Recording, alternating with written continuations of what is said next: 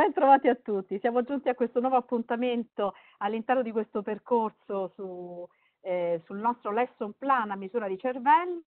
Oggi ci occuperemo in particolare delle fasi, delle altre due fasi del lesson plan. La volta scorsa abbiamo visto la fase 1 e la fase 2 e mentre oggi ci concentreremo sulla fase 3 e la fase 4. Naturalmente insieme a me ormai i consueti accompagnatori di questo percorso potete vedere Andrea Tinterri che è il nostro neuroscienziato di riferimento specializzato insomma in neuroscienze ma anche in molto altro. Poi c'è Beatrice Aimi, dirigente scolastico ma anche assegnista di ricerca insomma, per l'Università di Parma presso il Future Education of Modena, esperta anche lei di neuroscienze e psicologia cognitiva.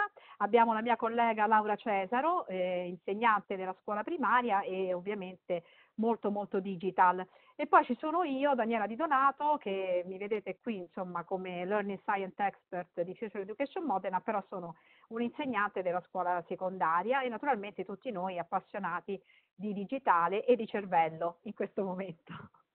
Allora, vediamo un po' il percorso che faremo oggi insieme. E come sempre vi mostriamo eh, nostro, eh, la nostra timeline per capire a che punto siamo arrivati. Oggi vogliamo parlarvi di ciò che facilita e promuove l'apprendimento. Il nostro percorso è iniziato, siamo già al quarto incontro e lo faremo insieme naturalmente sia ad aspetti teorici che a aspetti pratici. Quindi vi chiediamo per esempio di rispolverare se, se l'avete tenuto in disparte da un po' di tempo il vostro account Twitter perché potrebbe essere utile per fare un'attività che vi proporremo. Ecco qui, questo è il nostro modello di lesson plan eh, che è compa insomma, compatibile con quello che l'evidence based education ci dice riguardo alla mente che impara. Siamo appunto nella fase prime time, eh, anzi scusate, elaborazione, quindi la terza parte del nostro lesson plan, elaborazione attiva, e l'ultima parte, quella che va a chiudere il lesson plan, cioè il prime time 2. Esatto, allora prendo io la parola, grazie Daniela per l'introduzione. Quindi ripartiamo da qui, ehm, partiamo esattamente dal, dall'idea di approfondire oggi quella parte che riguarderà, che riguarda la, il consolidamento dell'informazione, quindi eh, come facilitare un apprendimento profondo e duraturo e significativo. E lo affronteremo come al solito partendo dalla prospettiva neuroscientifica. Allora, se eh, chi di voi già ci conosce, chi ha fatto con noi questo percorso, riconoscerà questa diapositiva che è quella ricorrente, è il nostro grande mantra, eh, questa diapositiva ci dice eh, che cosa, lo rivediamo molto velocemente, che l'informazione passa dai sensi, quindi dalla memoria sensoriale, arriva come primo step in memoria di lavoro e solo successivamente, forse, ce lo siamo detti tante volte, passa in memoria a lungo termine dove può dar luogo ad apprendimento e quindi a eh, memorizzazione duratura e quindi neuroplasticità. Ecco, oggi ci concentreremo in particolar modo sul concetto di neuroplasticità e eh, vedremo che cosa è e vedremo che sono esattamente tre i processi su cui ehm, oggi focalizzeremo la nostra attenzione e che sono alla base, sono processi cognitivi che sono alla base dello sviluppo di, della neuroplasticità. Questi processi sono il rehearsal, il retrieval e il transfer. Ehm, li teniamo in inglese perché non hanno esattamente una definizione, diciamo, ehm, con un'unica parola eh, di questi, di, di, del corrispettivo inglese. In realtà per noi sono più un concetto, vedrete che eh, comunque impareremo a conoscerli e quindi ci perdonerete se usiamo questo inglesismo, ma mh, mm, alla fine risulta più semplice eh, considerare diciamo, il termine inglese rispetto al concetto molto più ampio che invece è espresso dalla lingua italiana. Allora, io direi di partire dicendo che cos'è la neuroplasticità la neuroplasticità è, ehm, come la intendiamo adesso in maniera molto molto semplicistica ovviamente, può essere come vedete ehm, relativa a due fatti, o al consolidamento di vecchi eh, e mh, nuovi circuiti, quindi un circuito quando è diciamo poco consolidato è abbastanza debole, tenete presente la metafora magari di un muro eh, che è poco cementificato, viceversa quando l'informazione, quindi l'apprendimento è consolidato, lo stesso circuito eh, viene grandemente rinforzato. Oppure il concetto di neuroplasticità si ha anche quando eh, si costruiscono addirittura dei nuovi circuiti. Quello che ci interessa sottolineare è che, e poi ce lo spiegherà più avanti Daniela molto, in maniera un po' più dettagliata, come la neuroplasticità sia un processo che, guardate, uno dei pochissimi dei processi biologici che attraversa la vita di un individuo dalla nascita alla morte. Eh, questo ci dice quanto da un punto di vista evolutivo sia un processo molto molto importante. Eh, infatti possiamo dire che ciascuna esperienza, ciascuna lezione, ciascuna lettura modifica le nostre reti neurali in maniera più o meno forte e duratura. In ogni caso crea neuroplasticità. Eh, oggi il webinar che facciamo in qualche modo crea all'interno del, del nostro cervello dei circuiti, delle connessioni che vanno in qualche modo a integrare alcune, già, alcune conoscenze già esistenti e quindi a consolidarle.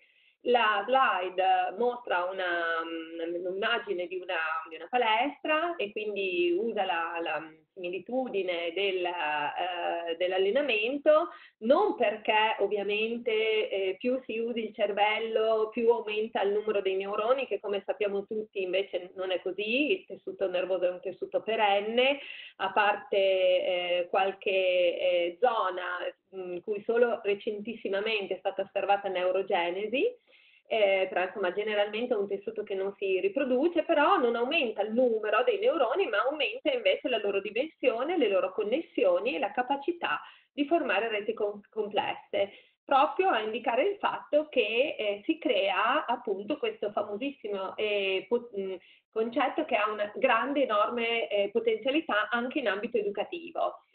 Quindi, sintetizzando, che cosa possiamo dire? Che quando noi pensiamo, sentiamo, ci muoviamo, facciamo esperienza. Tutte le volte, ogni, ogni cosa che facciamo crea in noi un'esperienza. Tutte le esperienze vengono registrate nel nostro cervello. Tutte le esperienze vengono poi organizzate e processate, però in base, l'avevamo visto anche nei webinar precedenti, a delle priorità che sono il valore, il significato e la rilevanza dell'informazione stessa per il soggetto. Questo comporta l'attivazione di numerosi neuroni che eh, si collegano tra di loro attraverso segnali elettrici e chimici, formando delle connessioni dei circuiti che sono rinforzati dalla ripetizione, ma anche dal riposo, l'avevamo visto anche in una delle volte precedenti, e dalle emozioni, e anche questo l'abbiamo visto e trattato abbondantemente. In questo modo si forma neuroplasticità. Adesso lascio la parola a Daniela che ci illustrerà il legame tra neuroplasticità e intelligenza, che è un concetto molto interessante.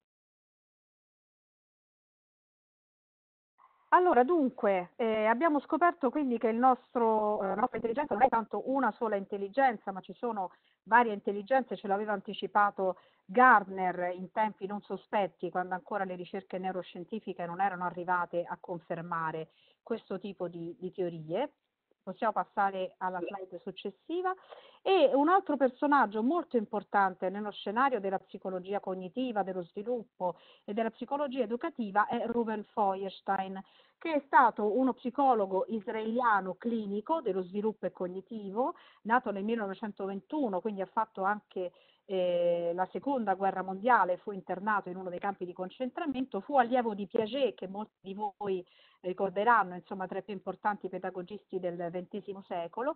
Che cosa disse eh, Robert Feuerstein molti anni prima che i neuroscienziati ci avessero dato tutte le informazioni che abbiamo adesso? Disse esattamente la stessa cosa, cioè ipotizzò la plasticità del cervello umano e applicò alcune teorie già eh, derivate da Piaget ai bambini che erano sopravvissuti ai campi di concentramento e che naturalmente avevano una motivazione all'apprendimento ridotta a zero, quindi avevano bisogno proprio di avere un supporto e una, una restituzione di capacità, una riattribuzione di capacità. Da questa sua esperienza nasce un metodo, un metodo appunto Feuerstein, anche programma di arricchimento strumentale, eh, perché Feuerstein ebbe l'intuizione non solo di eh, pensare alla plasticità neurocerebrale, ma anche a come riuscire a rendere sempre più plastico e quindi anche eh, sbloccare alcune rigidità nei ragionamenti, nei comportamenti e negli apprendimenti di bambini ed adulti. Questo programma di arricchimento è abbastanza stupefacente scoprire quanto sia simile come step agli step che poi i neuroscienziati, e l'abbiamo visto anche nel precedente webinar, hanno rilevato come fondamentali nell'apprendimento, quindi l'attenzione, la memoria, la capacità di risoluzione dei problemi, l'orientamento nello spazio e nel tempo, il potenziamento delle funzioni esecutive e le abilità emotive e relazionali, quindi tutto era già stato in qualche modo immaginato e i neuroscienziati hanno dimostrato questa teoria. Il programma di arricchimento strumentale è l'unico programma, tra l'altro, che eh, si avvale di strumenti, ci sono proprio delle specifiche schede e specifici percorsi che Feuerstein mette in mano non solo agli insegnanti, perché naturalmente c'è un percorso di formazione che si può fare per diventare mediatori con questo metodo, ma anche ai terapisti. Questo metodo viene anche applicato per esempio per potenziare le capacità anche di figure eh, di responsabilità come manager, direttori d'azienda, quindi non solo con i bambini che hanno difficoltà o che vogliono lavorare sulle proprie funzioni e abilità, ma anche proprio come strumento di consolidamento e di potenziamento. Insomma, abbiamo scoperto che eh, anche l'intelligenza è fluida, quindi non dobbiamo pensarci mai in maniera eccessivamente rigida e questo io lo dico sempre vale anche, pensiamo anche a tutti i bambini, i ragazzi e gli adulti che hanno per esempio delle disabilità, ciascuno ha comunque una potenzialità che può sviluppare eh, con i giusti strumenti, con i giusti tempi e quindi come insegnanti e come esperti dell'apprendimento dobbiamo conoscere quali sono le migliori strategie per poter riattivare la plasticità neurocerebrale, cosa che è possibile fino all'ultimo giorno di vita. Ruben Feuerstein ce l'ha un po' dimostrato perché è nato nel 1921 ed è morto nel 2014, quindi insomma quasi centenario con ben otto figli, quindi una famiglia numerosa e ha diffuso il suo metodo in tutto il mondo, quindi insomma lo ha dimostrato continuando ad imparare fino all'ultimo giorno di respiro. Sappiamo quindi oggi, e questo è qualcosa eh, dalla, insomma una, una, competenza dalla quale non si può tornare indietro, che eh, tutti quei fattori che sembravano essere invece così preponderanti prima di tutto il filone di ricerca neuroscientifica, cioè fattori genetici, ereditari, eh, oppure altri tipi di fattori, non sono così determinanti nella costituzione delle nostre intelligenze, mentre l'ambiente di apprendimento gli stimoli esterni, i percorsi, sono invece molto importanti importanti per sviluppare la plasticità neuronale, quindi avviare degli sviluppi cognitivi significativi in tutti, ma soprattutto in qualsiasi momento della nostra vita. Esatto, e quindi, dato che è così importante questa neuroplasticità per tutte le ragioni che ci siamo detti fino adesso, allora come possiamo a scuola e comunque in ambito educativo, in ambito formativo, andare a svilupparla questa neuroplasticità? Partiamo col rehearsal, questo processo cognitivo per poi vedere il retrieval e il transfer. Allora, che cos'è il rehearsal? Il rehearsal potremmo interpretarlo come un processo di elaborazione dell'informazione. Gli scienziati, gli studiosi eh, ne descrivono due, un processo che è automatico di elaborazione dell'informazione e un processo che invece è più attivo.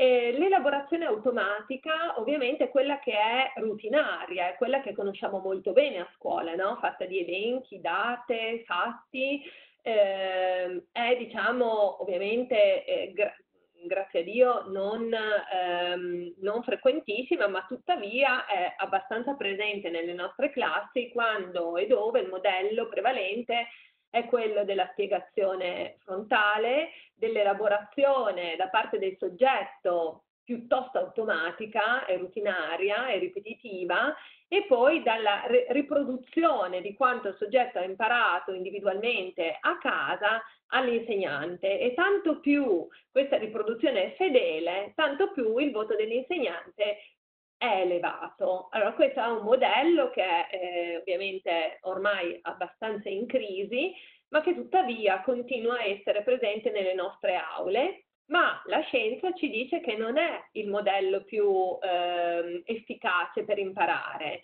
La modalità più efficace per imparare è quella invece di utilizzare un'elaborazione attiva dell'informazione, cioè lasciare spazio agli studenti durante la lezione, quindi non delegandolo a casa questo spazio, ma durante la lezione e le lezioni per guidare quindi gli studenti e eh, proporre loro, facilitare loro appunto una attivazione e una quindi elaborazione attiva dell'informazione, quella che gli studiosi definiscono come rehearsal. In questa diapositiva eh, viene illustrato quello che vi dicevo eh, poc'anzi, cioè il fatto che in una ricerca condotta internazionale su più di 3.400 scuole superiori, il 55% dei docenti utilizza la lezione frontale e la utilizza per metà o tre quarti del tempo lezione. Ecco, tutto quindi eh, quello che ci diciamo sul rehearsal deve tenere in considerazione che una lezione che usa per metà o tre quarti del proprio tempo per trasmettere dei contenuti non è una lezione efficace. Non stiamo dicendo che eh, la, la, lezione trasmissiva e frontale è da bandire, assolutamente no, anche Gionatti, eh, citato da, dalla mh, mm, collega Laura la, nel webinar precedente, lo sottolinea. L'importante è che eh, la lezione sia condotta in una modalità eh, dialogica, socratica, no? l'interactive lecture. In questo modo, quando lo studente è sollecitato a elaborare, quindi a costruire attivamente la propria conoscenza, questo è un modo per affrontare efficacemente eh, l'apprendimento e per renderlo, ehm, diciamo, duraturo e consolidarlo. Ehm, quali sono qui però le strategie pratiche da utilizzare in classe per ehm, diciamo, fornire occasioni di apprendimento attivo e quindi di elaborazione attiva? Laura, ce le vuoi illustrare? Eh sì, allora io ho, ho preparato una, una, carrellata di alcuni strumenti che noi possiamo usare appunto per questo processo di elaborazione attiva in cui a chi impara viene proprio chiesto di ripensare a quanto ha sentito, a quanto ha letto, a quanto ha visto, per ricordarlo e per interiorizzarlo. Quindi eh, per poter fare quei collegamenti sono, e quelle associazioni che sono necessarie per attribuire un significato a, a un determinato contenuto. Quindi ehm, come possiamo noi docenti guidare eh, e proporre attività eh, che eh, sostengano i ragazzi nel processare poi il contenuto del, eh, dell'apprendimento, in autonomia però, perché non possiamo sostituirci a loro. Eh, una strategia è quella di eh, parafrasare riformulare, ma è eh, chiaro che se noi diciamo ai ragazzi, beh adesso scrivetemi un riassunto di quello che abbiamo appena detto, eh, molto probabilmente non hanno nessun interesse e non suscitiamo neanche nessun tipo di eh, motivazione all'apprendimento, ma se invece proviamo ad usare strumenti che sono eh, più vicini al loro vissuto, eh, come per esempio ehm, scriviamo in un tweet quello che eh, ci ha colpito di più di quello che abbiamo sentito fino adesso. Ci prendiamo un attimo di pausa e lo scriviamo dentro un tweet. Chi ha eh, Twitter può anche già da adesso scrivere in 140 caratteri o anche un po' di più, usando possibilmente almeno uno di questi hashtag. Io ne ho, ne ho messi tre, eh, BBTT a misura di cervello e ho controllato prima, a misura di cervello non, non c'è nel, tra gli hashtag di eh, Twitter, quindi se noi poi andiamo a vedere, a cercare quali sono eh, i messaggi che contengono a misura di cervello, avremo anche la ricostruzione di quello che noi stiamo dicendo che voi state eh, recependo in questo momento. E, e quindi potremmo creare una, una, lo stream dei commenti diventa una tag board in questo modo in cui tutti eh, contribuiscono a, a, costruire la, la, la, conoscenza riguardo a quello che stiamo dicendo in questo momento.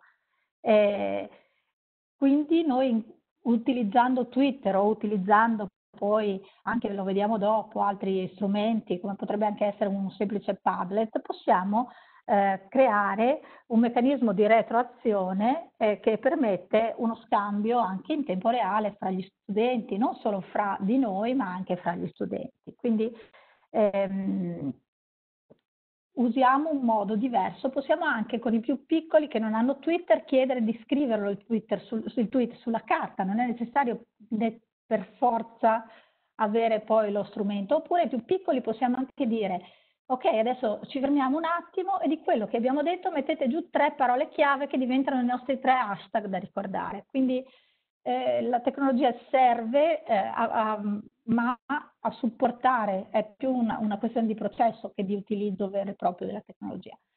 Oppure un'altra cosa che eh, potremmo provare a fare, sempre per parafrasare, riformulare, ehm, ridire gli argomenti con le, mh, con le nostre parole, potremmo usare anche l'idea della citazione eh, e eh, io qui vi ho solo messo a titolo di, di, di eh, esempio tre ehm, strumenti online. Uno è Adobe Spark eh, Post, l'altro è Canva, che sono un po' più complessi, ma sotto ve ne ho messo un altro che si chiama Cuozio e si trova, se Beatrice va avanti, c'è proprio una slide, c'è un sito che si presenta in questo modo, uno può fare login e quindi poi può condividere la citazione su Facebook, ma può anche semplicemente scriverla, questa citazione, scrivere chi l'ha detta e scegliere uno sfondo, un background, viene reso in maniera grafica,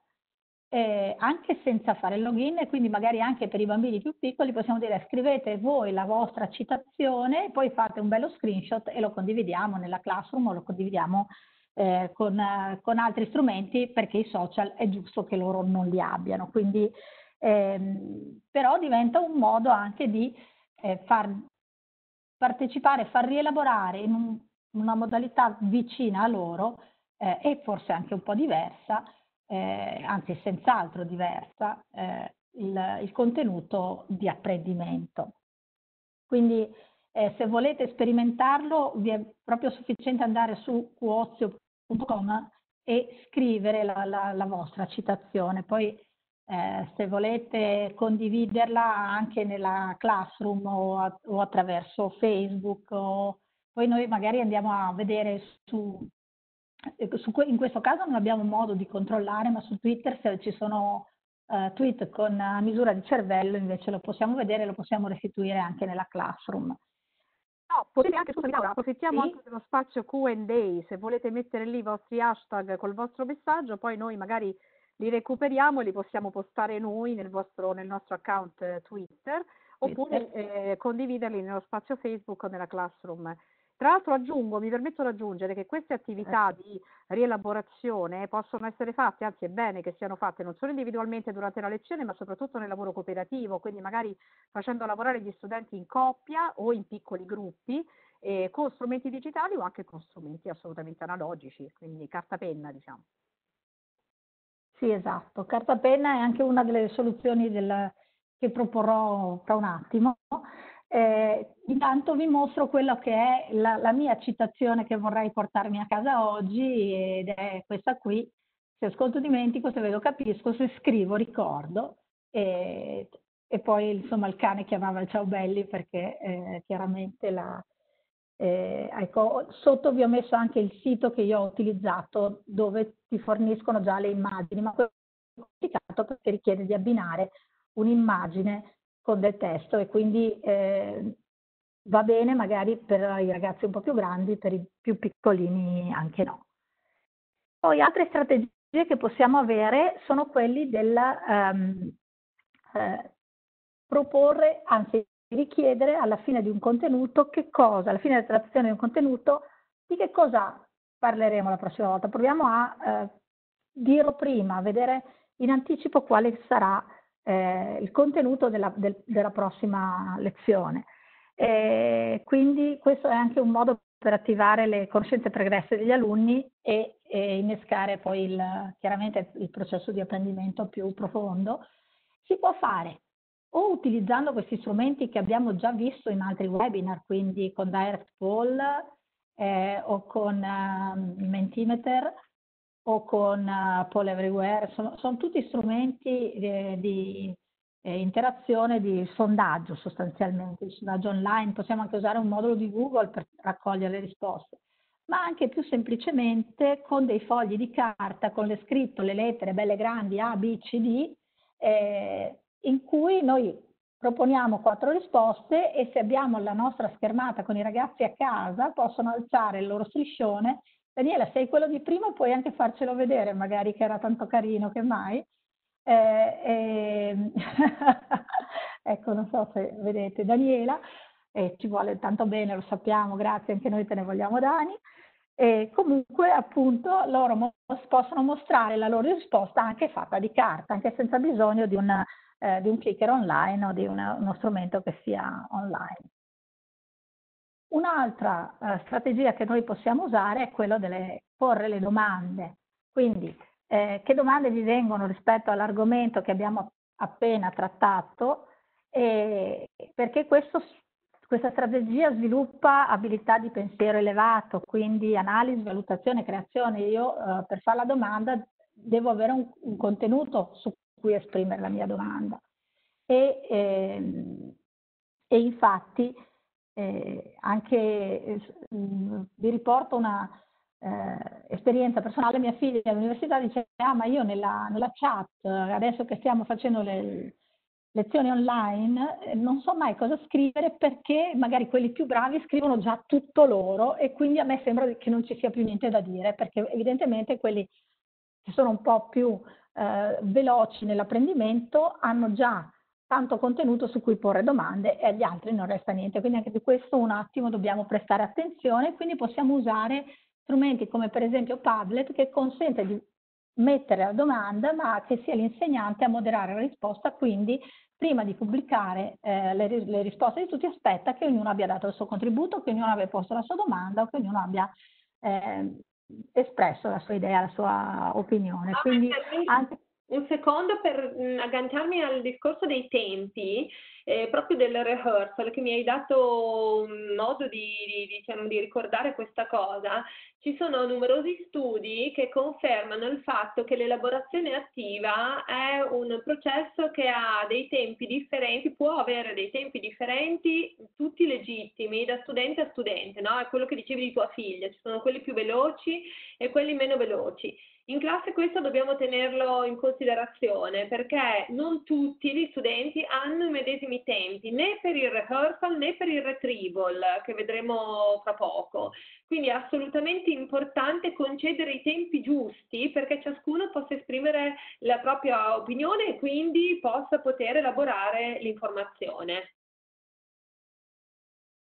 Bene, grazie Bea. Eh, l'ultima slide di strumenti è eh, sono gli organizzatori grafici, è un KVL come quello che abbiamo usato nel primo nostro incontro, là l'abbiamo fatto con Tablet, possiamo farlo con Storyboard possiamo farlo con un modulo di Google, possiamo farlo in vari modi, non, non, è importante lo strumento, ma è importante quello che noi andiamo a chiedere ai ragazzi. Quindi eh, tutte queste sono strategie di ripetizione lavorativa e quindi eh, in qualche modo aiutano i ragazzi a ritenere e a esprimere quello che hanno imparato. Eh, non solo i ragazzi, a dire la verità, anche gli adulti, anche noi in, in condizioni di apprendimento, quando siamo in condizioni di apprendimento, e cioè per tutta la vita sostanzialmente. E quindi queste strategie vanno usate in maniera continuativa perché diventi parte integrante del loro modo di stare in classe, di studiare, eh, di confrontarsi anche magari con, con, queste, con questi argomenti eh, in modo di sciogliere un po' anche l'ansia da prestazione che invece viene quando noi andiamo a chiedere direttamente a loro. Se noi invece li, li alleniamo che ogni volta devono tirare fuori qualcosa di quello che hanno imparato, diventa anche facilitante nel, nella direzione dell'ansia che viene ridotta. Quindi e poi, eh, lo dicevamo prima, il tempo di lavorazione dei contenuti non è detto che tanto tempo serva, ma può servire tempo differenziato a seconda degli studenti che abbiamo davanti. E con questo eh, passo la parola a non mi ricordo chi. A me. Bravo. Andrea. Grazie Laura e buongiorno a tutti. Ehm, continuiamo eh, anche oggi diciamo, il viaggio che abbiamo fatto attraverso questi, questi webinar eh, in come avviene il processo di, eh, di, apprendimento anche dal punto di vista del nostro cervello.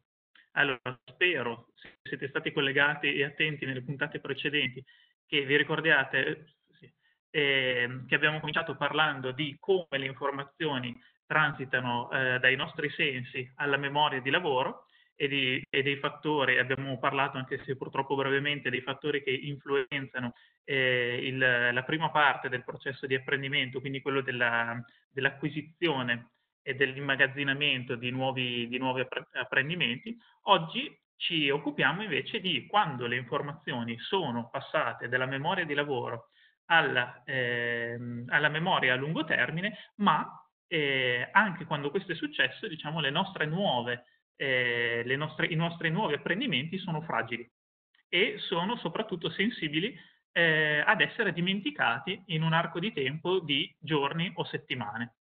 E allora abbiamo cominciato a vedere oggi, anche, eh, parlando sino ad ora della pratica del, um, del rehearsal o elaborazione attiva, di come questa sia una di quelle strategie che permette di consolidare eh, le informazioni generando degli apprendimenti duraturi. Adesso andiamo a vedere un'altra delle strategie eh, che sono emerse negli ultimi, negli ultimi, dieci anni grazie a studi neuroscientifici eh, che possiedono una grande efficacia nel consolidamento delle memorie e quindi nella, nella capacità di apprendere nuove informazioni e eh, custodirle per lungo termine all'interno della nostra memoria, del nostro cervello. E questo, quest'altra strategia si chiama retrieval, non ha purtroppo una traduzione italiana, quindi come anticipava Beatrice ci riferiremo con il, con il termine inglese, ma sostanzialmente, detto in due parole, è il fatto di richiamare alla propria mente senza una, senza una, una guida, un'anticipazione, un'informazione che è già custodita nella nostra memoria. Infatti, come possiamo vedere sulla slide, ehm, Mentre tradizionalmente ci si concentra soprattutto sulla parte dell'apprendimento che consiste nel apprendere nuove informazioni e quindi immetterle all'interno del nostro cervello, quello che eh, gli, studi, gli, studi, scientifici ci hanno detto negli ultimi anni è che è altrettanto, se non più importante, eh, rafforzare queste conoscenze una volta che esse sono transitate dalla nostra memoria di lavoro e dal nostro ippocampo, sono state mandate alla corteccia cerebrale dove sono divenute delle tracce mentali, ma queste tracce appunto sono ancora suscettibili di essere, eh, di essere dimenticate col tempo. La pratica del retrieval, tra le altre, consente attraverso l'accesso a queste memorie di fortificare eh, questi percorsi e quindi di renderli più stabili e meno suscettibili uh, all'oblio. Lo studio del retrieval ha una storia eh, abbastanza recente e abbastanza interessante. Eh, sostanzialmente emerge da uno studio abbastanza sorprendente del 2011, eh, pubblicato su Science, in cui un, um, un, gruppo di scienziati metteva a confronto la pratica abbastanza comune di costruire delle, delle mappe mentali, che è una strategia che, usa, che viene usata comunemente, eh, a partire però dalla, dalla, visualizzazione del testo, oppure la pratica del ripasso di un testo, con il fatto di richiedere alle persone che avevano imparato qualcosa di tirare fuori queste informazioni senza nessun input, quindi eh, con un grosso sforzo. La, la, conclusione abbastanza sorprendente di questo studio è che quando agli studenti veniva chiesto di ricordare senza, nessun, senza nessuna stampella, tra virgolette, le informazioni, eh, il fatto di andarle a ripescare all'interno della nostra mente rendeva queste informazioni più consolidate di qualsiasi altra strategia di apprendimento. Il retrieval, per quanto possa, possa sembrare controintuitivo, è infatti la strategia didattica più potente rispetto a quelle comunemente usate, che, sia, che siano la lettura, la rilettura, la sottolineatura e la, la costruzione di schemi. A, a, a, partire da questo studio seminale, naturalmente, ne sono stati fatti altri e per esempio si è, si è, visto sempre da parte dello stesso gruppo che eh, invece l'uso di mappe concettuali a partire però eh, senza il testo, ma utilizzando il retrieval come base, quindi costruire mappe mentali, tirando sempre fuori noi le informazioni, in realtà ha lo stesso, ha lo stesso effetto molto positivo sulla costruzione, sul consolidamento di memorie. Quindi fondamentalmente quello che si è scoperto è che l'importante è lo sforzo che si fa nell'andare a recuperare le informazioni all'interno della nostra mente. Ok. Adesso Laura ci, ecco, un... ci, presenterà alcuni degli strumenti che possono essere utilizzati per favorire questa pratica del retrieval.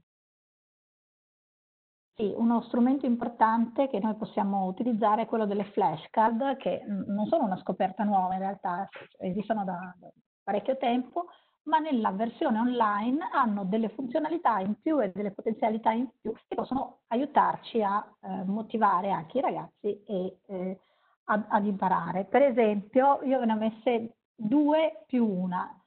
Eh, Quizlet, che eh, è, uno, è, una web app sostanzialmente in cui si può eh, inserire un termine e poi la definizione del termine che va messa nella, verrà mostrata nella parte rovescia della carta, ma non è, questa è la modalità eh, tradizionale dell'uso. Però eh, ha anche altre modalità in cui, eh, data la definizione, si deve scegliere il termine corretto oppure ehm, e l'esercizio termina quando viene risposto correttamente per almeno due volte, quindi c'è anche un rinforzo nella, nel, nella concettualizzazione poi chiede di digitare il termine data la definizione, eh, poi chiede eh, di abbinare come memory, poi c'è anche la modalità di gioco per cui i ragazzi sono ehm, sfidati da un gioco e questo avviene sia dentro Quizlet sia dentro Cram. Quindi sono due piattaforme in cui sostanzialmente ci sono modalità diverse di utilizzo delle, delle flashcard, sia come eh, uso comune che per la memorizzazione che per il test perché dei giochi. Un'altra invece, un altro strumento molto più basico, molto più facile, ma anche molto più immediato, è presente nei modelli di, delle presentazioni di Google, nella galleria dei modelli, e, e, ci dà sostanzialmente le slide che ci presentano da una parte l'immagine oppure la definizione e dall'altra noi dobbiamo inserire eh, il, il, il contenuto della definizione sostanzialmente. Eh, un'altra cosa che nelle slide non, non ho messo, ma che eh, secondo me è, è, molto utile, è anche quella di, non secondo me, eh, ve lo dico secondo me perché l'ho provato con i ragazzi, di far scrivere loro eh, tre domande alla fine di una lezione, durante una pausa di lezione, tre domande, tre risposte per sfidare i compagni. E poi noi queste tre domande, tre risposte le carichiamo su eh, un ambiente come Kahoot come quiz che avete provato la volta scorsa per sfidarsi a vicenda, vedrete che i risultati sono veramente molto molto alti. Quindi vuol dire che anche se loro hanno scritto le domande perché i compagni non le indovinino, perché noi abbiamo, volevamo farli sfidare tra di loro, eh, vedrete che tutti mediamente risponderanno meglio alle domande, quindi vuol dire che tutti avranno imparato meglio i contenuti. E quindi eh, anche questa è una strategia che funziona perché l'abbiamo provata. E di altre cose eventualmente possiamo parlare nella, nella classroom dove troverete anche delle pillole che hanno preparato Andrea e Beatrice sul appunto come funziona la mente che impara e che sono davvero molto molto interessanti e quindi vi invito a, a trovare, venirci a trovare nella nostra classroom. Sì, aggiungo Laura solo una cosa, ehm, che le flashcards che mh, appunto significa utilizzare carte in cui da un lato c'è una domanda e dall'altro c'è la risposta, sono da quasi univocamente da tutta la comunità scientifica. Avete, ritroverete nelle slide un sito dove mm, un link a un sito dove sono presenti molte di queste attività eh, proprio perché è una modalità che permette il richiamo con lo sforzo, no? quello che diceva un po' Andrea, il fatto di non trovarsi davanti nulla, ma di giocare, tra virgolette, con delle carte che peschi e quindi costringere in qualche modo la tua mente ad andare a cercare la risposta senza nessun appiglio è una delle modalità che mette insieme eh, diciamo, l'aspetto ludico della sfida che come abbiamo visto anche la volta precedente sono eh, strategie sicuramente molto motivanti e ingaggianti con quella del retrieval. Quindi è davvero una modalità didattica molto molto potente.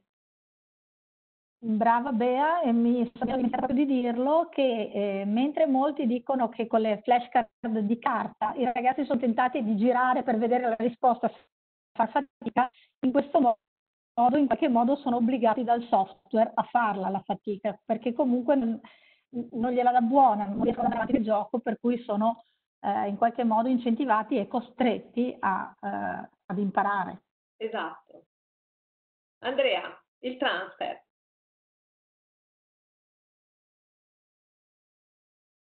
Scusate, mi ero mutato. Volevo solo fare una chiosa finale sul retrieval prima di passare al transfer e dire che in realtà il retrieval è una cosa che si fa da sempre nelle classi.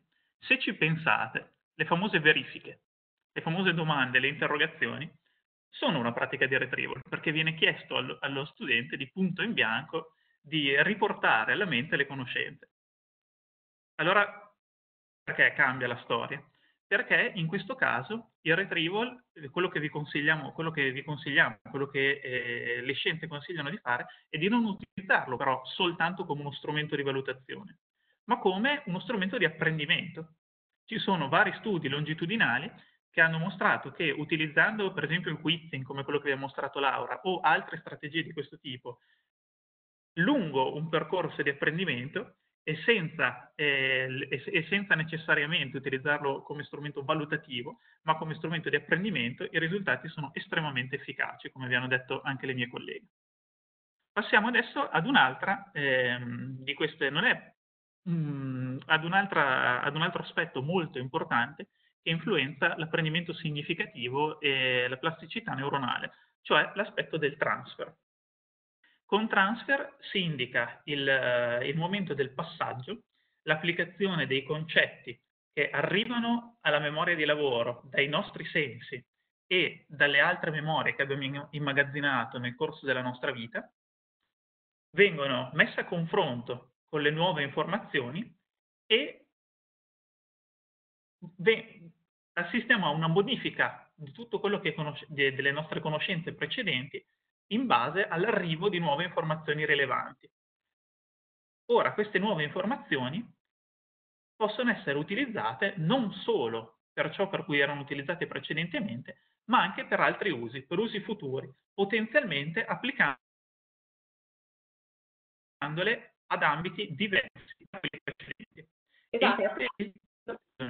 Pensavo avessi concluso questo, poi ti ridò subito la parola. Prima che tu passi alla spiegazione un po' neuroscientifica del transfer, volevo ehm, così, mh, mm, lanciare una sollecitazione, una riflessione agli insegnanti che ci stanno seguendo, perché eh, questo è un concetto che appunto appartiene alle neuroscienze cognitive, alla psicologia cognitiva, ma eh, in cui io ritrovo moltissimo il parallelismo con la competenza, col concetto pedagogico di competenza, no? perché la competenza, lo sappiamo, non è altro che l'insieme delle conoscenze, delle abilità e degli atteggiamenti che sono state imparate in un determinato contesto, ma, ma eh, decontestualizzate possono aiutarci magari a risolvere problemi in un contesto totalmente nuovo e si dice appunto che la persona competente è la persona che riesce a utilizzare questo bagaglio di informazioni in un contesto nuovo.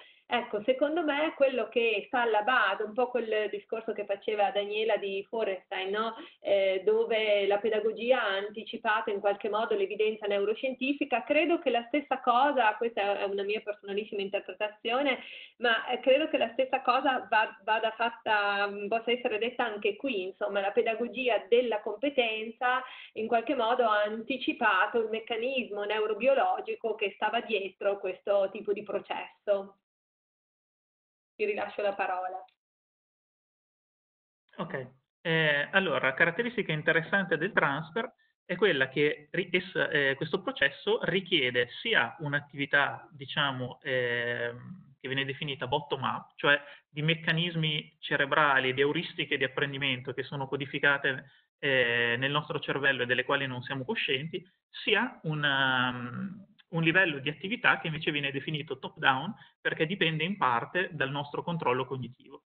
Allora, partiamo dalla, dalla, da quello che avviene a livello, eh, diciamo, bottom-up, dal basso. Quello che succede è che le nuove informazioni sono molto spesso molte, troppe per poter essere immagazzinate interamente e, e indiscriminatamente all'interno del nostro cervello. Per quanto esso abbia una capacità di memoria a lungo termine, dicevamo qualche, negli appuntamenti precedenti, praticamente illimitata, la capacità invece limitata della, della nostra memoria di lavoro forma un importante collo di bottiglia alla quantità di cose che possiamo, eh, che possiamo imparare nel corso della nostra vita. E allora qual è lo strumento che il nostro cervello ha, ha imparato ad utilizzare per massimizzare la quantità di informazioni che possiamo, eh, che possiamo apprendere? Si tratta di un processo che viene definito chunking. Un chunk sostanzialmente è un insieme di informazioni che vengono compresse con un paragone, eh, con un paragone informatico, potremmo quasi definire eh, zippate, eh, a formare una sola unità. Allora, un, un, esempio che si fa molto spesso eh, è quello dei, per esempio, dei numeri di telefono, che un intero numero di telefono, 9 cifre, se lo si considera cifra per cifra, è molto difficile da apprendere, da, da apprendere a memoria, ma se come, facciamo, se come fa la maggior parte di noi, lo si scorpora in una serie di, di cifre 3x3, diventa più semplice da imparare. E questo insieme di tre cifre, tipo 3, 4, 7, ta ta ta ta ta ta, diventa più facile da apprendere. Quello che avete appena fatto unendo tre cifre del numero in una sola, in una sola unità informativa è un chunk. Ora, una volta che questi, che questi chunk di informazione sono creati, essi sono inviati alla memoria a lungo termine, che come dicevamo ha una capacità quasi infinita. E adesso per il transfer però dobbiamo essere capaci di prendere questi chunk preesistenti e di applicarli a nuovi contesti. E a questo serve invece il nostro controllo cognitivo, la nostra capacità che determina le nostre capacità di, pro, di problem solving, la nostra capacità creativa. Vuol dire che quando un chunk è stato creato, esso può anche essere scorporato e può essere integrato da nuove informazioni e o applicato a nuovi contesti. Mi rendo conto che questa spiegazione è un po' astratta, ma adesso ehm, vedremo un po' più nel dettaglio come si può, come si può favorire questa, questa, proprietà di chunking, perché questo processo, come detto in precedenza, è forse lo strumento più potente che abbiamo, eh, lo strumento nel quale si, si manifesta nel massimo livello la nostra capacità plastica propria della nostra specie di applicare a contesti diversi le nostre conoscenze e di utilizzarle per creare nuove cose, per creare eh, innovazione e per risolvere problemi complessi. Scusate, finisco io questa parte.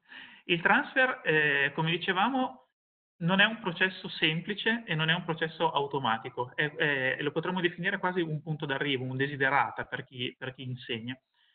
Perché il, um, questo è necessario, siccome richiede un controllo, dicevamo top-down, siccome richiede un controllo dall'alto, un controllo tra virgolette volontario, è necessario che gli studenti, che gli studenti venga insegnato ad utilizzarlo, ponendoli in delle situazioni che gli consentano di accedere alle loro memorie pregresse e di utilizzarle per nuovi contesti. Per esempio, quello che si propongono di fare, ehm, i compiti eh, come dire, il problem-based learning, l'inquiry-based learning, tutte queste, tutte queste strategie, quello che fanno è esattamente questo, di prendere delle informazioni preesistenti e attraverso un'attività di riflessione, investigazione, applicazione a nuovi concetti, eccetera, favorire la pratica del, la pratica del, del transfer che di per sé veicola, è, un, è, uno strumento che applica quelle che vengono definite le soft skill o le, le skill del ventunesimo secolo. Se Beatrice vuole, vuole, vuole commentare su questo, su questo aspetto. Sì, grazie Andrea, esattamente. No? Eh, sappiamo che esistono delle pratiche didattiche, delle metodologie didattiche che eh, pongono l'alunno in situazione, in situazione nuova, in situazione di contesto e possibilmente in situazione di contesto reale, no? E esattamente queste, queste, metodologie tipo il problem based learning, ma anche il project based learning, l'inquiry based learning, sono tutte strategie didattiche d'elezione perché? Perché in qualche modo costringono lo studente a fare tutti e tre i processi che abbiamo visto fino adesso, sicuramente a fare un'elaborazione attiva, che eh, è quella che ci permette, eh, diciamo, avviene in memoria a breve termine e ci permette di eh, far sì che il soggetto percepisca la rilevanza e la significatività del contenuto che sta imparando. Eh, ce lo siamo detti tante volte durante il nostro percorso, nessuna mente è in grado di immagazzinare un'informazione che non ritiene significativa e rilevante per se stesso e quindi non gliela può dire qualcun altro, non, nessun altro può dire la rilevanza che ha un contenuto perché è un fatto assolutamente soggettivo e quindi è importante mettere eh, lo studente nelle condizioni di elaborare attivamente il contenuto sia per consolidarlo, ma anche per fargli ricercare attribuzione di senso e attribuzione di significato. Eh, il retrieval abbiamo detto che costringe a richiamare informazioni e il transfer ad applicarle in un altro contesto. Ecco, queste metodologie così complete, come queste illustrate nella slide, in qualche modo permettono di attivare tutti e tre i processi che abbiamo descritto e che, come abbiamo detto, sono un po' la benzina eh, per il motore della neuroplasticità, eh, così importante per creare eh, chiamiamola così, insomma intelligenza, comunque per creare eh, connessioni eh, neurali e cerebrali che permettono appunto plasticità eh, neuronale. bene. Beh, volevo aggiungere, beh, volevo aggiungere una cosa, è molto rapida. Allora, la prima, e tanto per ricordarci appunto eh, dell'impianto pedagogico precedente, anche Feuerstein aveva rilevato la presenza del transfer, lo chiamò bridging, cioè qualcosa che fa da ponte tra quello che impara in un contesto specifico, come per esempio l'apprendimento formale a scuola, e quello che invece riesco effettivamente a trasferire nella vita e nel mio vissuto quotidiano. E poi volevo anche sciogliere un misunderstanding, un fraintendimento che mi è capitato spesso di ascoltare tra transfer e transfert che esatto. sono due eh, processi completamente diversi. Il transfer di cui stiamo parlando è un processo cognitivo, intenzionale, complesso, mentre il transfer è un processo che appartiene a un'altra branca della conoscenza, che è la psicanalisi, ed è un processo di trasposizione inconsapevole, laddove si trasferiscono degli impianti legati al mondo dei sentimenti, delle emozioni da una persona ad un'altra, quindi è tutto un altro tipo di, di processo e di lavoro. Grazie Dani, grazie per questa precisazione. Eh, quindi ci avviamo a concludere, così abbiamo qualche minuto per eh, le domande, se ce ne sono, per l'interazione. Allora, concludendo, eh, il nostro cervello lo possiamo immaginare come un cercatore non d'oro ma di schemi. Eh, abbiamo visto come nel webinar precedente come eh, questi schemi siano, questo processo di confronto tra la nuova informazione e uno schema preesistente avviene nell'ippocampo e dunque è importantissimo come docenti che inseriamo i nostri discorsi, nostre, i nostri contenuti all'interno di un framework concettuale molto chiaro e molto ben definito finito. Diversamente, no, come si dice, è come se eh, una nave eh, fosse in balia del, del, vento senza avere una direzione chiara. Esattamente così si potrebbe comportare anche il nostro, il nostro cervello se non intravedesse in qualche modo il, il percorso, no? gli obiettivi e il percorso entro il quale eh, muoversi. Quindi è importantissimo eh, definire il framework concettuale di riferimento e eh, dare indicazioni molto chiare di obiettivi e di percorso agli studenti. Eh, è altresì molto importante, ce lo siamo detti, creare collegamenti col mondo reale, eh, abbiamo appena finito di parlare di PBL e di inquiry, ovviamente, eh, perché l'attribuzione di significato è veramente importantissima e su questo abbiamo già detto tanto. E questo invece ce lo inseriamo qui, cioè l'importanza della metacognizione, quindi di stimolare sempre gli studenti a riflettere eh, non solo sul loro prodotto, quindi su come hanno fatto, ma anche sul loro processo di apprendimento, sui loro successi, sui loro insuccessi, su che cosa fare per migliorare oppure su che cosa hanno sbagliato e quindi su cosa devono intervenire.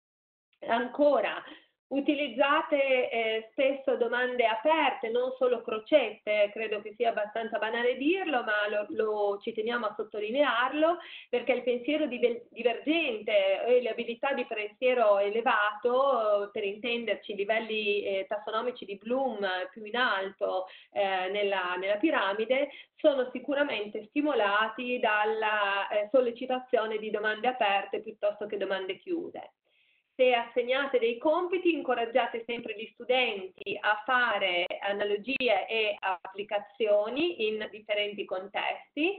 Ricordate quindi sempre di dedicare tempo alla chiusura della lezione, perché eh, la chiusura è un momento in cui davvero si potrebbe eh, in, dedicare tempo al retrieval, eh, al rehearsal e al transfer eh, transfer. Con questo ehm, vi ringraziamo per l'attenzione e credo che ci rimanga un po' di tempo per qualche domanda. Chi le ha raccolte di voi? Non so. Ad un po' di domande abbiamo risposto in itinere. Okay. Quindi diciamo le perplessità di alcuni erano su quanto diciamo, queste, eh, questi strumenti che utilizziamo, no? anche giochi digitali, eh, siano effettivamente produttivi, per esempio qua c'era la collega Giulia che parlava delle lezioni in inglese, cioè lei a prescindere da questo dice se non studiano le regole la lingua non la imparano. Questa è un po' è la preoccupazione di molti insegnanti, però il problema magari qualcuno di voi può rispondere, nel webinar precedente parlavamo di motivazione, se non c'è un gancio, se non li agganciamo da qualche parte e solo scendendo anche su un terreno comune eh, di motivazionale dove loro possono ritrovare un qualche interesse, sarà poi difficile anche portarli a studiare queste regole, perché sennò eh, diventa un, un, apprendimento molto passivo, cosa che eh, non esclude assolutamente lo studio anche di cose meno avvincenti e meno coinvolgenti. Certo, se, se finalizzate però, Daniela, no, intendiamo se finalizzate eh, che lo studente, come dire, lo studente deve capire il fine di imparare quelle cose, che non deve essere mh, mm, proprio fine a se stesso, no? Ma deve esserci una motivazione, cioè è importante che io, che ne so, sappia i simboli delle, dei composti chimici perché quello capisco che a livello di nomenclatura e di, eh, come dire, eh, comunicazione generale è importante che tutti eh, capiamo eh, quando parliamo di NaCl che cos'è, come funziona, che cosa serve, quindi inquadrarlo in un determinato contesto e quindi imparare anche rutinariamente alcune regole, alcuni concetti, eh, è certamente importante e lo studente deve percepire però il senso di fare questo, se no decade. Esatto. Allora, non so se ci sono, se avete letto altre domande. Eh, ci chiedono naturalmente riferimenti, ma li abbiamo già dati rispetto ai codici delle classroom, a dove recuperare i materiali. Abbiamo già detto che questo percorso solamente che impara sul lesson plan sono eh, seguiti, il percorso potete seguirlo anche attraverso una Google Classroom dentro la quale naturalmente curiamo contenuti, vi, vi proponiamo nuovi strumenti e anche nuove modalità di confronto, eh, una sorta di peer tutoring tra di noi, insomma, per arrivare a sperimentare un po' qualcosa di nuovo, ma c'è anche una sfida, perché c'è una sfida eh, sulla quale voi, noi vi vogliamo portare, che è la sfida della costruzione di un lesson plan da poter poi da poter poi condividere. Quindi su questo avete anche proprio un impegno, vi, vogliamo portare sulla motivazione, quindi proviamo a coinvolgervi in questo modo. Naturalmente eh, c'è anche il canale YouTube dove potete poi recuperare i webinar, ma tutti questi materiali li troverete sic eh, sicuramente, compresa questa presentazione, nella Google Classroom dedicata. Il codice l'abbiamo diffuso tramite la Q&A. Ok. Sì, ci sono un altro paio di domande ehm, sulla parte diciamo un po' più viene chiesto quanto interviene la metacognizione e l'aspetto emotivo sull'efficacia dei processi di transfer e retrieval. Eh, faccio giusto un aggancio a un webinar precedente in cui parlavamo della rilevanza dell'aspetto emotivo sull'acquisizione dell'informazione. Dicevamo insieme, soprattutto Beatrice e Beatrice, dicevamo che eh, le emozioni possono agire veramente quasi come un filtro, come uno shutter sulle nuove informazioni. Una, un, un, delle emozioni particolarmente forti in senso negativo possono, possono completamente inibire eh, l'acquisizione di nuovi apprendimenti. Quanto invece incidono sulla parte eh, dopo, sulla parte diciamo, del richiamo delle informazioni. Questo è molto meno ben, ben, ben studiato, c'è uno studio abbastanza recente, molto recente, del 2019, che ehm, indaga in che modo in certi neuro- neurotrasmettitori come eh, la dopamina, eh, che proviene da un, da, un, da un, sito specifico del cervello, abbiano, associno dei valori emotivi anche alle, alle memorie che sono state immagazzinate e che quindi delle memorie che sono associate per esempio ad alti livelli di arousal o, ehm, o comunque ad un contenuto emotivo forte possano essere reclutate più facilmente. Quindi come per tutto quello che abbiamo visto finora, sembra anche in questo caso che anche il richiamo di informazioni precedenti dipenda dallo stato emotivo nel momento in cui quell'informazione è stata, in cui quella, quel nuovo apprendimento è stato generato, che è un altro modo per, per, per permettermi di reiterare ancora una volta quanto l'aspetto emotivo incida in ogni fase dell'apprendimento e quanto sia essenziale che eh, gli studenti, ma chiunque apprende, sia messo nelle condizioni eh, in un ambiente emotivo favorevole e come questo abbia un impatto assolutamente duraturo sull'apprendimento che può praticamente durare tutta la vita. Altre domande? C'è altro? Se non c'è altro possiamo anche avviarci alla conclusione. Mm. Ditemi voi, non le vedo. Volevo solo dire una cosa che, che non, è, non, è, molto neuroscientifica, ma forse è pedagogica, eh, riguardo allo zoccolo duro che non si fa scalfire. No? io credo che eh, li possiamo sorprendere con un'azione di fiducia, nel eh, sfidarli dicendo per me ce la puoi, anzi ce l'hai fatta, dimostramelo.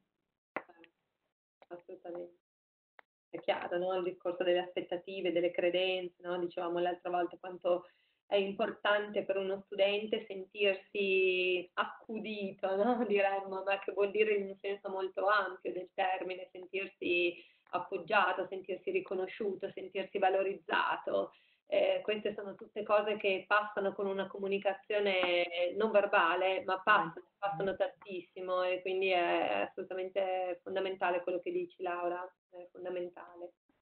Tra l'altro ognuno ha i suoi tempi, eh? nel senso che magari un'attività non è detto che abbia un effetto immediato, tra l'altro far lavorare gli studenti insieme crea anche una, un flusso, un flusso anche emotivo, quindi il benessere che magari ha provato uno studente si può trasferire all'interno di un gruppo che lavora insieme, così pu- come purtroppo accade anche il contrario.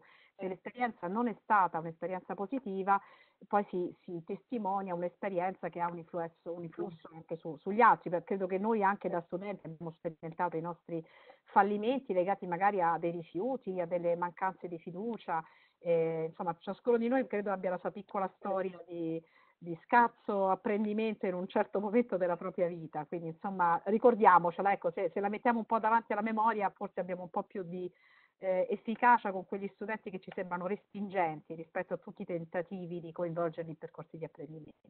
Assolutamente. Va bene, allora se non c'è altro vi ringraziamo ancora per la partecipazione e vi aspettiamo Vediamo lunedì. Appuntamento lunedì però cambia l'orario, 18.30, quindi è un po' più tardi, ricordatevelo, vi arriverà comunque la notifica sicuramente, però cambiamo l'orario e questa volta sarà un lesson plan eh, in modalità asincrona, quando il docente è offline, quindi come strutturare una lezione secondo i principi delle neuroscienze, ma in modalità asincrona. Vi ringraziamo e... Grazie.